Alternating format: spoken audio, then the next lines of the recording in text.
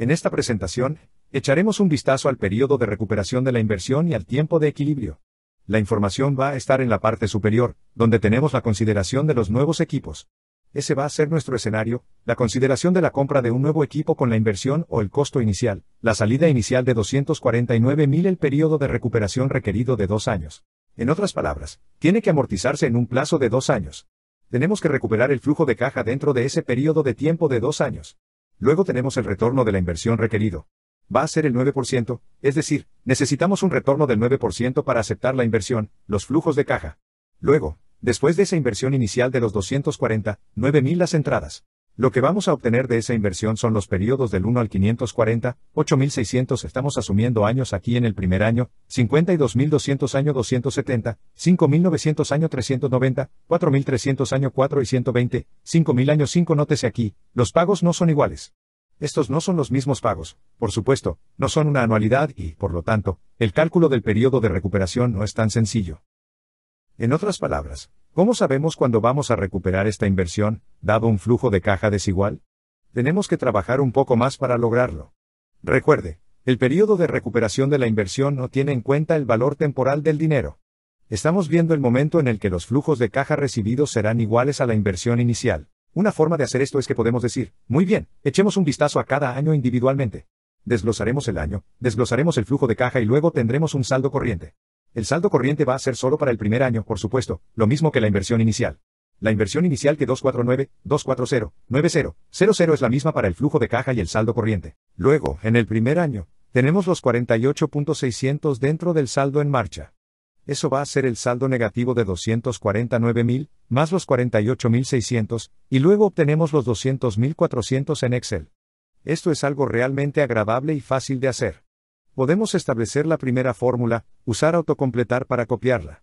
Funcionará bastante bien. Lo que estamos buscando, por supuesto, es el periodo de tiempo en el que este número de tiempo negativo se vuelve positivo.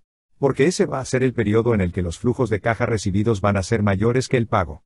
Así que lo tenemos en el segundo año. Tenemos los 52.200, así que los 200.400 menos los 52.200 nos dan los 148.200, seguimos siendo negativos, así que tenemos que seguir. Vamos a ir al tercer año, donde tenemos los 75.900, los 148.200 negativos más los 75.900 positivos nos dan los 72.300, luego en el cuarto año, tenemos los 94.300, los 72.300 más los 94.300, nos da 22.000 positivos, por lo tanto, en algún lugar entre el tercer año y el cuarto y el cuarto punto de 3, algo es donde tenemos ese periodo de equilibrio, donde volteamos y los flujos de caja se han amortizado. Amortizamos esa inversión inicial. Luego, en el quinto año, por supuesto, tenemos los 125, los 22.000 más.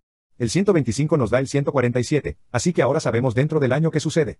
Podríamos obtener más detalles. Podríamos decir, wow. Bueno, eso lo sabemos. Ahora queremos ser un poco más precisos. Bueno, podríamos decir, entonces tomar nuestra información. Este es el total de flujos de efectivo. Este es el saldo corriente. Tenga en cuenta que el saldo corriente al final es igual a la suma de los flujos de efectivo totales.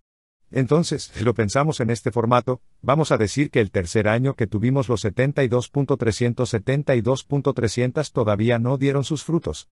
Si dividimos eso entonces por los 94.300 que ocurrieron en el año 4, podemos obtener el porcentaje del año que se pagó en el punto 7, 7. Y luego, si sumamos los tres años a eso, vamos a conseguir que se pague en 3,77 años. En otras palabras, sabemos que se pagó entre 3 y 4. No sabemos exactamente cuándo, entre las 3 y las 4, al final del tercer año, debíamos 72.372.300 que pagamos en el año 490.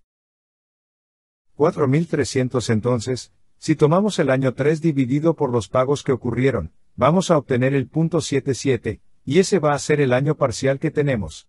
Entonces sumamos los tres originales más el punto 77, obtenemos el 3.77 así.